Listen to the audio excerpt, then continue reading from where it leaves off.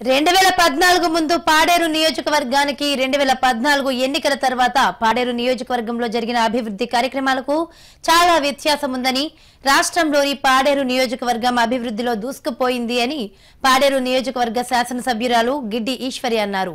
గిరిజనుల సంక్షేమమే పరమావధిగా తెలుగుదేశం అధినేత చంద్రబాబు నాయుడు అభివృద్ధి చేస్తున్నారంటున్న గిడ్డి ఈశ్వరితో మా ప్రతినిధి రామకృష్ణ ఫేస్ టు ఫేస్ విశాఖపట్నంలోని పాడేరు కాన్స్టిట్యున్సీ నుంచి ఎన్నికైనటువంటి శాసనసభ్యురాలు ఈ ఎన్నికైన తర్వాత అక్కడ ఉన్నటువంటి అభివృద్ధి ఏ విధంగా జరిగిందని తెలుసుకునే ప్రయత్నం చేద్దాం. మనతో ఇటు ఈశ్వరి గారు ఉన్నారు శాసనసభ్యురాలు.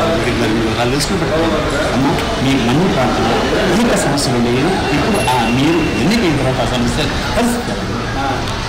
ఈరోజు రెండు వేల పద్నాలుగు ముందు రెండు వేల పద్నాలుగు తర్వాత అన్నది ఈరోజు గత స్వాతంత్రం వచ్చిన తర్వాత నుంచి. మా విశాఖమన్యంలో మరీ ముఖ్యంగా మా పాడేరు నియోజకవర్గంలో. ఖచ్చితంగా రెండు వేల పద్నాలుగు ముందు రెండు వేల పద్నాలుగు తర్వాత చెప్పుకొని తీరాల్సింది. ఎందుకంటే ఈరోజు ఏదైతే అనాదిగా మా గిరిజనులంతా కూడా అభివృద్ధికి నోచుకోలేదని మేము బాధపడుతుంటాము. అలాగే వైద్యం అందక విద్య అందక అసలు చాలా గ్రామాలు వీటికి ప్రధాన కారణం రహదారులు. ఈ రహదారులు అనేది ఉంటే కనుక ఎక్కడైనా సరే అభివృద్ధి ఉన్నట్టు. అటువంటిది ఈరోజు గౌరవ ముఖ్యమంత్రి చంద్రబాబు నాయుడు గారు తెలుగుదేశం పార్టీ అధ్యక్షుడు జాతీయ అధ్యక్షుడు. వారు ఈరోజు ప్రధానంగా గిరిజన ప్రాంతాల మీద పెట్టినటువంటి దృష్టి మర్చిపోలేదు ఎందుకు చెప్తున్నానంటే ఇది కళ్ళారా చూశారు గతంలో మా నాన్నగారు ఎమ్మెల్యే దగ్గర నుంచి ఎంతోమంది రాజకీయ నాయకులు కానీ ఎమ్మెల్యేని మినిస్టర్స్ అందరినీ కూడా మేము చూస్తున్నాము. ఈరోజు ఖచ్చితంగా ఏదైతే అభివృద్ధి సాగుతుందో అది తెలుగుదేశం పార్టీ వల్లనే సాగుతుంది. గౌరవ ముఖ్యమంత్రి చంద్రబాబు నాయుడు గారి వల్ల సాగుతుంది. ఎందుకు చెప్తున్నానంటే ఈరోజు పాడేరు నియోజకవర్గంలో ఒక ఎమ్మెల్యేగా ఉండి నిజంగా నేను అదృష్టవంతురాలుగా భావిస్తున్నాను. పాడేరు నియోజకవర్గానికి ఏడు వందల కోట్ల రూపాయలు రోడ్ల కోసం ఇచ్చారని అంటే అది నాకు చాలా గర్వంగా ఉంది. రాత్రి మారుమూల ప్రాంతాలకి గ్రామాల్లో సీసీ రోడ్లు కానీ డబ్ల్యూడబ్ల్యూ రోడ్లు కానీ మెటల్ రోడ్లు కానీ వెళ్ళలేనటువంటి గుమ్మిరేవులు కానీ గోడురాళ్ళు కానీ అలాగే గాలికొండ కానీ అదేవిధంగా అయినాడు అన్ని మొత్తం ఐదు మండలాల్లో కూడాను మారుమూల ప్రాంతాలు ఈరోజు ప్రధాన రహదారులు తారు రోడ్లు అయిందనంటే కేవలం తెలుగుదేశం పార్టీ. గౌరవ ముఖ్యమంత్రి చంద్రబాబు నాయుడు గారు దైవం రెండో అంశం ఏంటంటే వాటర్.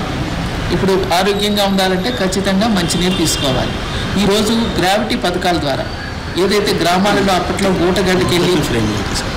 ఊటగడ్డకి వెళ్ళి బిందు మీద బిందు పెట్టుకొని చంగన బిడ్డ పెట్టుకొని చాలా ఇబ్బందులు పడి బురదలోని తొక్కుకుంటూ వచ్చి చాలా కష్టాలు పడినటువంటి మా గిరిజన మహిళలు ఎవరైతే ఉన్నారో ఈరోజు ప్రతి గ్రామంలో కూడా గ్రావిటీ పథకాలు పెట్టడమైంది. ఎందుకంటే ట్యాంకులు పెట్టి పైప్ లైన్ ద్వారా కుళాయిలు కాస్త మాకు సుఖవంతమైంది.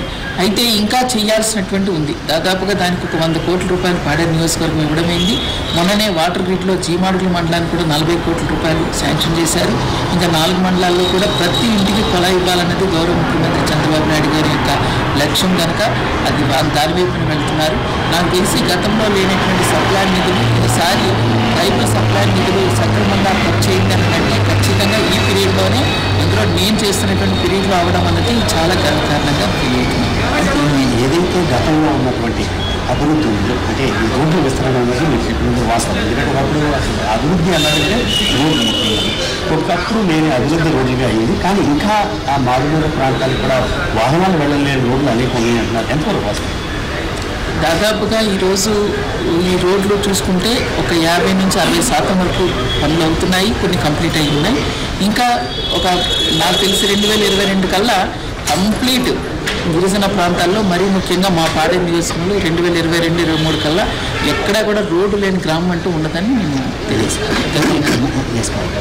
ముఖ్యంగా విశాఖ ఏజెన్సీ అంటే ముఖ్యంగా మీ కాన్స్టిట్యున్సీకి వచ్చేటప్పటికి ఈ ఖనిజ నిక్షేపాల గురించి వేస్తున్న రోడ్లు అని చెప్పి మనం మధ్య ఇటీవల కాలంలో ఆ మావోల దగ్గర నుంచి మనము వార్తలు వింటున్నాం. అవి ఎంతవరకు నిజం? అంటే కేవలం అక్కడ ఉన్నటువంటి గిరిజన ప్రాంత ప్రజల అభ్యున్నతి కోసమే ఈ రోడ్లు వేయబడుతున్నాయా? లేదు అనుకుంటే అక్కడ ఉన్నటువంటి బాధ్యత కానీ లేదంటే బ్యాంకులు కానీ ఇలాంటి ఏవైతే ఖనిజ నిక్షేపాలు కోట్లాది రూపాయలు విలువ చేసే ఖనిజ నిక్షేపాలని తరలించడానికి రోడ్లు వేస్తున్నారని చెప్పి వాళ్ళు ఆరోపిస్తున్నారు. ఏది వాస్తవం? నేను ఒకటే ఎవరైతే మాట్లాడారో వాళ్ళందరికీ కూడా నేను ఈరోజు ఛాలెంజ్ చేసి మాట్లాడాను. రండి మన నియోజకవర్గానికి.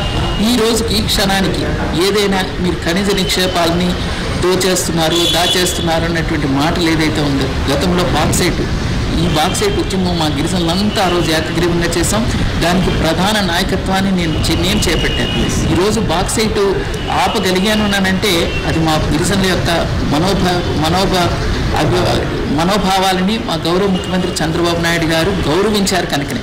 బాక్సైట్ తవ్వకాలు ఎట్టి పరిస్థితుల్లో తవ్వబోము. అలాగే అక్రమ మైనింగ్ కూడా తెలుగుదేశం పార్టీ చాలా దూరంగా ఉందని ఈరోజు చెప్తున్నాం. ఎందుకంటే అలాంటి అపోలు ఇప్పుడు ఒకటే చెప్తున్నా.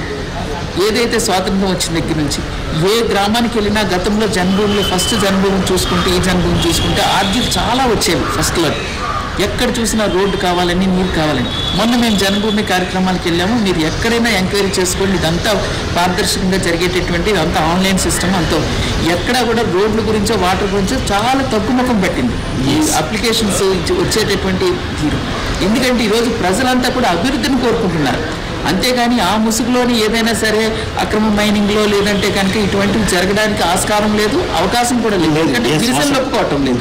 గిరిజనులు ఒప్పుకోలేనప్పుడు ఖచ్చితంగా గిరిజనుల మనోభావాలకు తగ్గట్టుగానే ఏ పార్టీ అయినా ఉండాల్సిందే మరీ ముఖ్యంగా నేనైతే వ్యక్తిగతంగా మా గిరిజనుల పక్షానే ఉంటాను అది ఎంత కష్టమైనా నష్టమైనా సరే మా గిరిజనుల మనోభావాలకే నేను గట్టిగా నిలబడి పోరాటం చేసేటటువంటి వ్యక్తిగా ఈరోజు ఎట్టి పరిస్థితులు అక్రమ మైనింగ్లు కానీ ఖనిజ నిక్షేపాలు దూర చేసుకోవడం అని ఎట్టి తెలుగుదేశం పార్టీ అది ఎట్టి సమస్య ఎట్టి పరిస్థితుల్లో చెయ్యబోదు చెయ్యబోదని చెప్పి కరాఖండిగా నేను తెలియజేస్తాను.